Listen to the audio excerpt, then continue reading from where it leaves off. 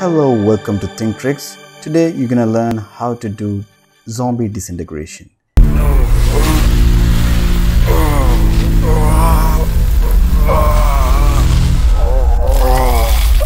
So here is my scene. Uh, you can see everything is all set up and the FX, even FX is all set up. So I'm not gonna do from scratch. I'm just uh, I'm just gonna go through what all are the settings and etc uh, etc because I, I don't think uh, starting from scratch is a good idea for this one because we are handling pop grain. So pop grain is uh, you guys know that it is very slow. So in order to get a good result like it's a pain. So the the setup already i have i'll explain from uh, from the beginning. Okay so i have the scene here uh, all the assets are from megascan uh, except the grass. So grass i created in in uh, houdini uh, you can see here I have a grass file here. So you can see the grass are like not not completely filled. That's because I've, I've I have a camera movement which is going from here to here. So and it is going pretty low. The angle is little low. So only where the camera is facing that's the only where I painted grass. Otherwise it doesn't make sense right? Like why would we need um, you know grass uh, an object over here where we can see. All the assets are from megascan. You can see here the scene file.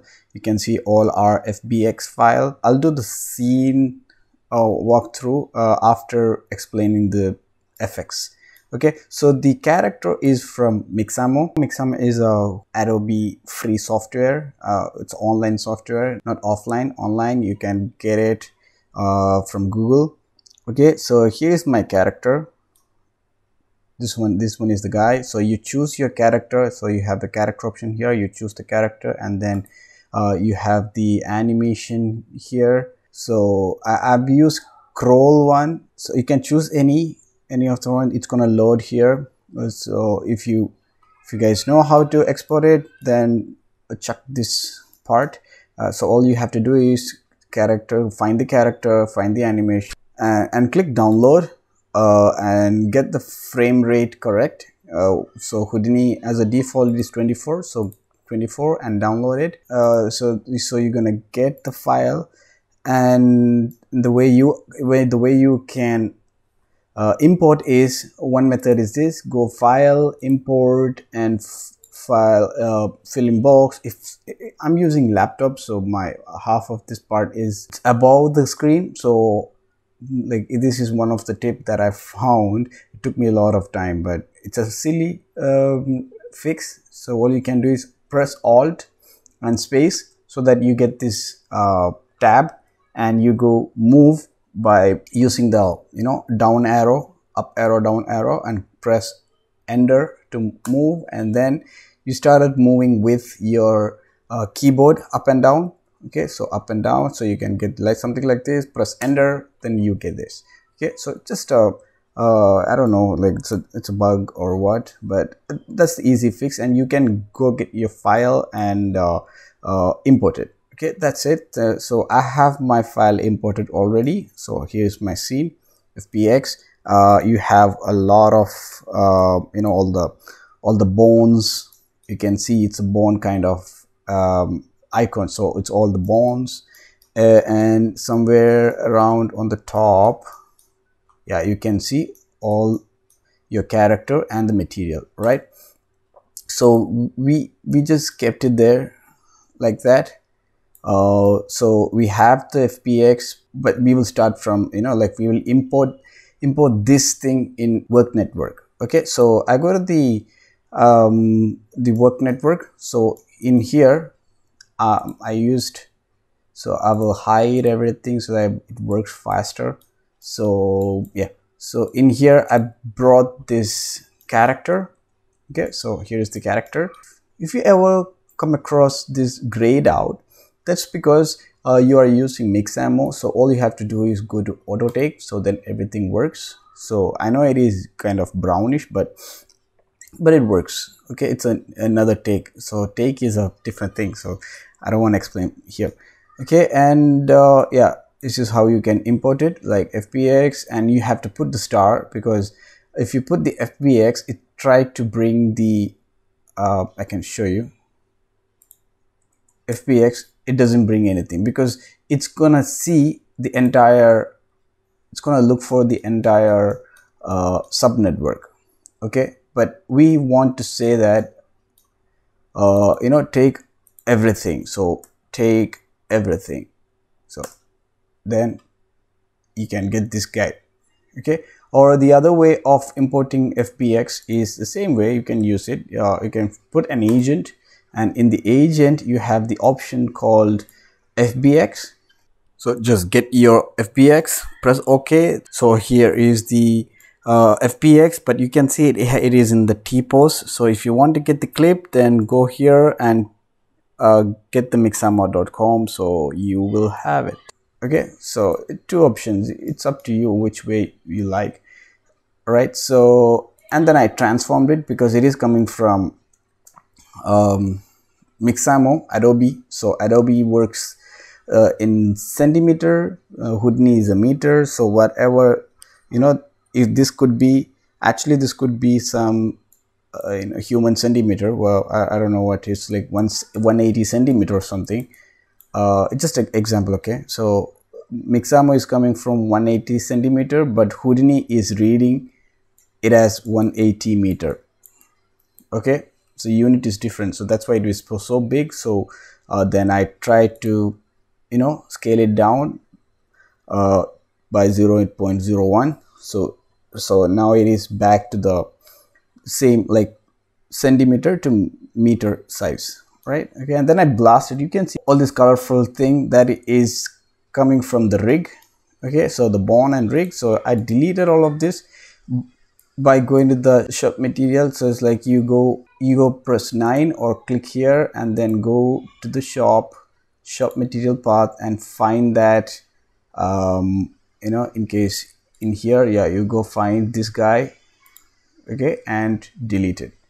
So that that's with that way you can delete all the bones related to it okay. So i have already then the the workflow is basically you have to bring a grain source okay. You have to bring a grain source to make this as a sand. So grain source is nothing but it's a particles uh, it's a point only but if you middle mouse click it you can see it has a p scale with within okay so which means um, which means if you, if you bring a sprite uh, so sprite is nothing but it's just a visualizing uh, and making things you know uh, you can see how the, the size of the point uh, based on the p scale. Okay so i like to take the visualizing as a you know spear so which you can get it uh dollar hfs everybody has this dollar hfs like it is not my thing. It's a houdini inbuilt textures. Okay so you go anything you can take sphere mat, any mat, any mat, basically it's a picture. So i take the mat so that i can see it. Uh, if it doesn't show you then you just have to refresh it by clicking here and clicking back. So you get the so yeah. So here is the p scale. So it's like as you increase it or as you decrease it you can see uh, that's too much that's too low i guess. Even that is too low. So i will keep seven. So you can see.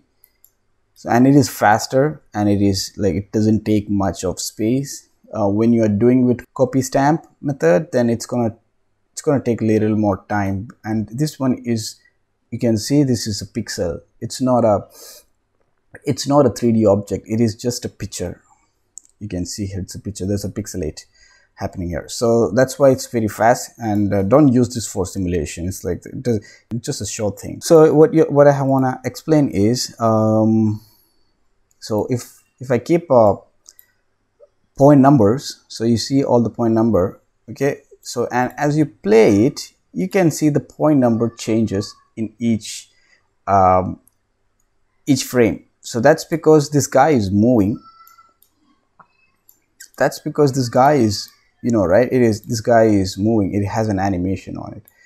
Okay? So as the animation happens the point in the 3d space also change isn't it it is not a good idea uh, for doing something uh, you know like if you have an animation and you have a point here and the points are points are moving. So that is bad. So your point has to stay inside the inside the object.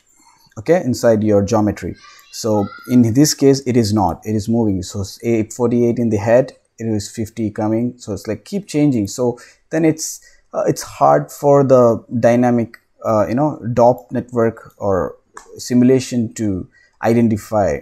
Okay so so that way you, you have this option called uh, there's a node called basically there's a node called point deform in here. Okay point deform. So point deform basically what it do is so i'm gonna show you what's gonna do.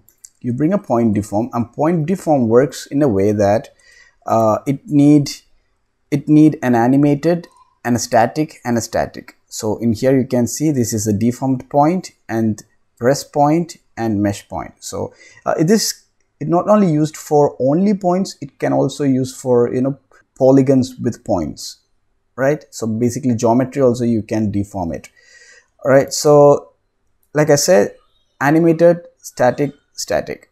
Okay? So it's just a you know easy to understand. So animated um so we want to change the point isn't it? So if it is change if you want to change the only point then uh, this too has to be you know uh, polygon points or mesh points. Okay? So we know that this has to be mesh mesh with the animation and next one we need is rest point or static i would say. Rest and the rest the mesh which we wanted to change. So i hope you can see this. I'll delete the sprite that's for just visualizing. And in the grain so grain source is the one we want to change because it is uh, as it moves it is uh, the point number is also changes. This that's the problem we have to fix it.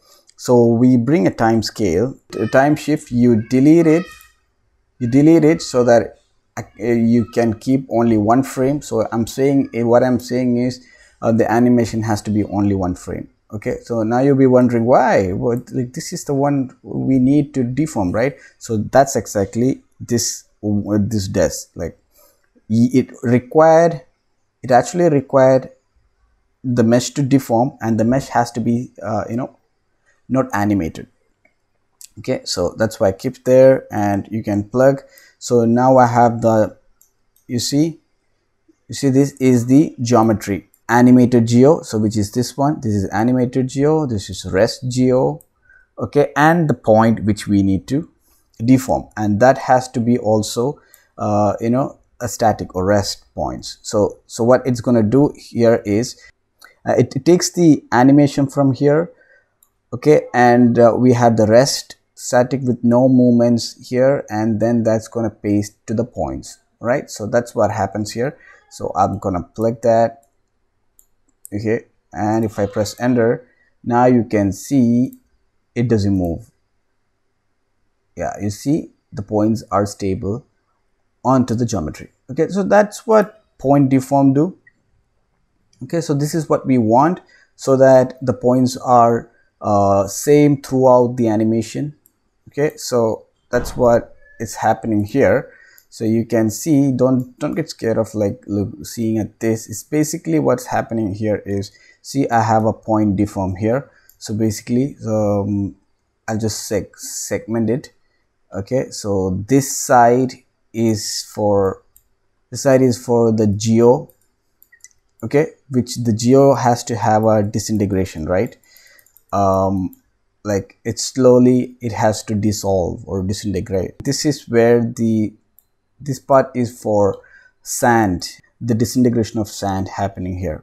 I then put a vdb okay so why vdb just to make it uh, you know simple. It's like you see the remesh? Right now if you middle mouse click it, it is 600 kb and in here it is 5 MB. So that's what I did. So if you mouse click is just 600 KB and then I grain sourced it. So it is not necessary. Okay, but it, it is, it will help you to uh, do the simulation little faster, little faster. Okay, just, you know, a 0.5 different or something. If you have a high poly mesh, then this would do a big help. Okay, so it's the same thing. I, then I did grain source and you can see here the value right? So in the this one i put the value 001 so, uh, and the remesh i've used this value and the grain source.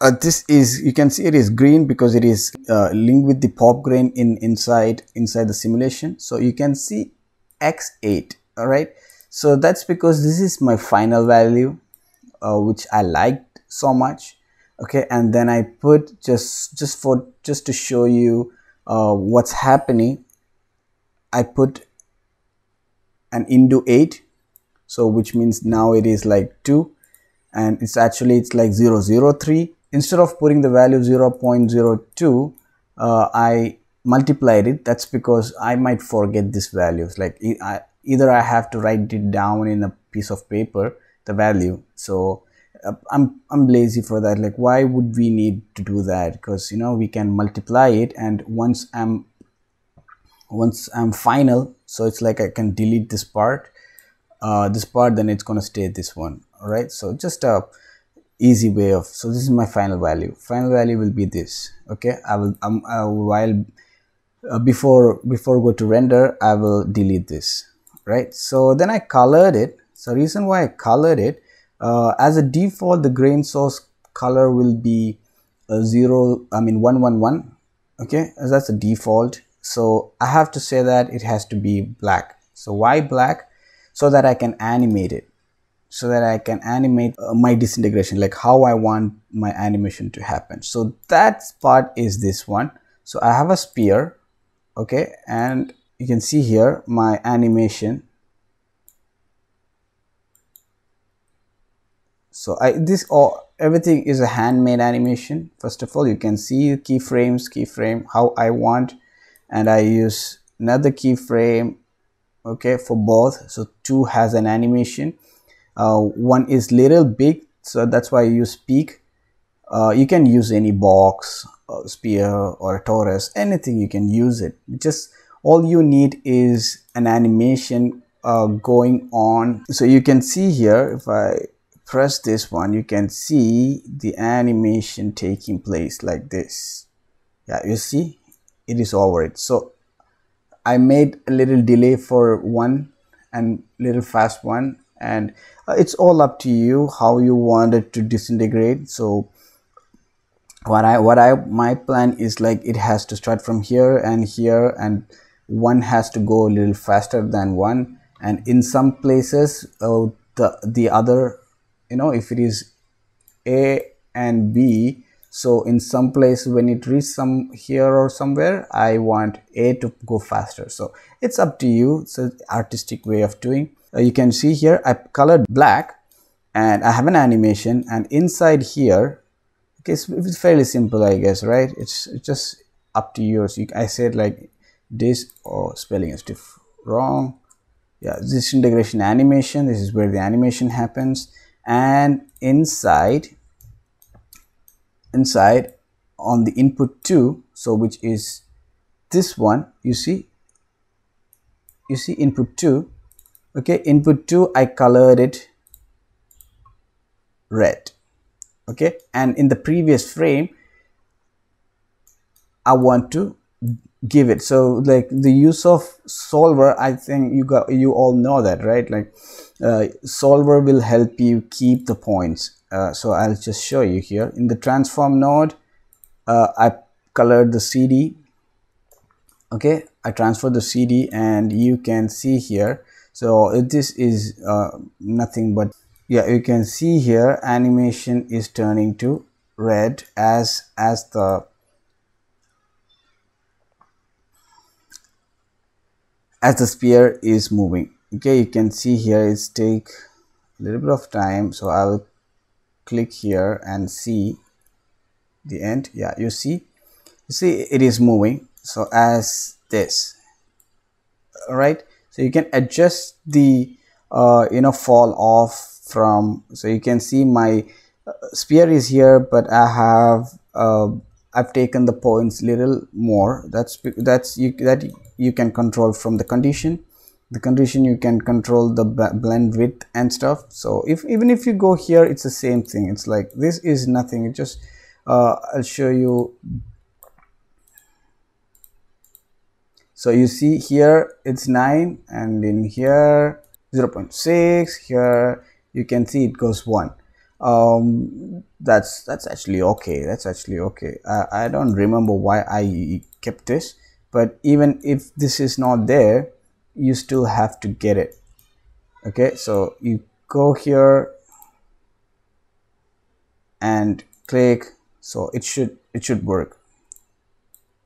Okay you don't need to have that vex coding so i have a moving colors like as it goes even the it also go. So so you can see the plug. So uh, like i said this has to be points and this has to be geometry. This has to be geometry with animation. Yeah so you can see that uh my so this one is going you know straight straight here and it is this. Okay so static i mean and uh, the geometry with animation. Okay and this one is going you know here. So which is a rest. Okay or static. So the uh, the geometry with static. So you can see that. Okay and then uh, this one I plugged in for points which I wanted to change okay? So it's like uh, it is a static but it's a point okay? So which I we want to change. And it also has a color in it okay? That's that's just that's we need that because uh, we're gonna delete we're gonna delete or we're gonna make it static I mean activate and deactivate using the color. So that's the only reason we kept this. And see the color has an animation. So which is this one. Okay. Okay so so we have the point with color you know black and red going here. So and it is a static. Okay so what's going to happen here is it's going to take the animation from the geometry and uh, it's going to uh, give it to the to the rest geometry okay? And then those animation will those animation will place uh, to the point okay? Or other words deform the point or deform the mesh. So that's what here it's happening right? So now you can see so now if I hit play it's gonna take time. So I I've already I'll already take a 100 frame of play blast so you can see the numbers are yeah but you can i think you can see 239 2391 and stuff. So you can see uh, after the point deform this point number is going to stick to the geometry with the animation.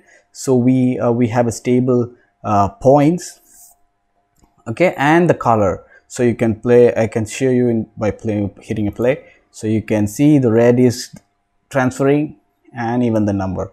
So you see it is 230 2386 and still 2386 okay?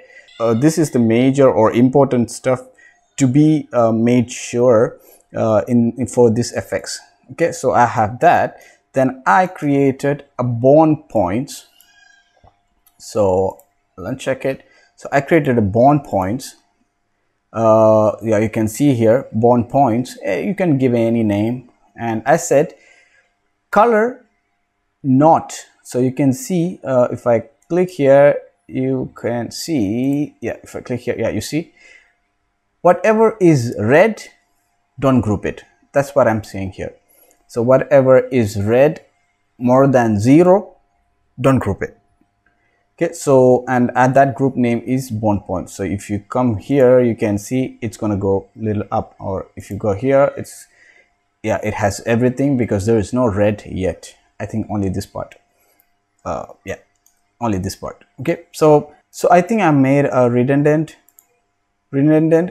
This group doesn't need it okay? So you only need a bond point group. So this one bond points right? And it's better you keep file cache okay? So if you file cache it then everything runs faster. So right now this is okay. Right now this is okay because we have only only 0.02 which is very less isn't it? So right now this is that's okay. But if you are keeping a higher resolution okay higher uh, you know so point separation to maybe like only only this thing then you might need to file cache it. I think not you might it you have to file cache it uh, and bring it from the from here. It's like uh, you file cache it okay and load from the disk so that so that it's no more gonna use the Houdini space it's gonna use your disk. So I hope you know what is file cache.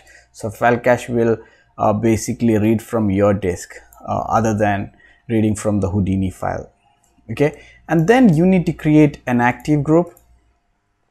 Okay? An active active group based on cd so active point and uh, the trigger will be cd so it's like whatever is red cd dot r anything will work. So dollar dollar cd i mean dollar cr is a h script and uh, at cd dot r is a vex script.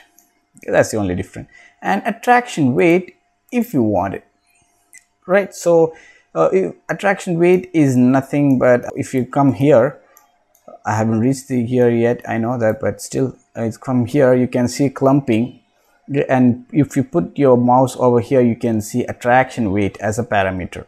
So you see the parameter is attraction weight. So clumping is basically it is it's gonna clump or group make a group or you know it is base it is usually used for wet sand okay to make it a grouped sand okay so that's why here I said attraction weight and I did not change anything. The value is still zero because that value is gonna trigger in here. So it's a fairly it's a fairly simple uh, it's a noise where white is uh, clumped and black is not clumped. Okay so black gonna fall down and white's gonna be sticked together. So uh, here you can see it doesn't look good. You know there will be small white uh, clumping small white clumping. Okay if you put this in a higher resolution right now it, it doesn't look good I know that. Okay and all I did is I put a, uh, a turbulent noise and I unclamped it. So fit unclamped uh, so that I get white and black not gray and a light black. And then I fit it because fit unclamp could go negative value. So if I come here uh, since it has a fit it doesn't read it. Yeah now you can see it is going negative value positive value but we don't need that. We want to put we want to keep uh, CD 0 and 1 because that's the best uh, practice. It's like CD it's good to have 0 to 1 not negative or or you know 1 plus. No that's wrong. That's wrong. Like it's gonna it's gonna give you dark colors or bright colors. So we don't need that. We just need a color. Okay so yeah. So now fit will help you keep it 0 and 1 right so that's what this. And uh, so cd is for visualizing. Okay? You can unplug it if you want. Uh, but it's a visualizing that we know that white is clumped and black is not clumped. So this is the clump guy okay? Attraction weight. So nothing i've done in here. I promoted the this parameter over here um, so that i don't have to go inside and outside right? And then a rest node rest node is good that if you want to play with color later after your simulation okay? So it's just a it's like a backup plan okay? So if in case uh, you waste i mean if in case it's like you uh, you spend you know one day not it won't be one day but five hours for getting your getting your simulation done. And then suddenly you, you thought of like oh i need to change the color or uh, you need to change something then dress position will help you out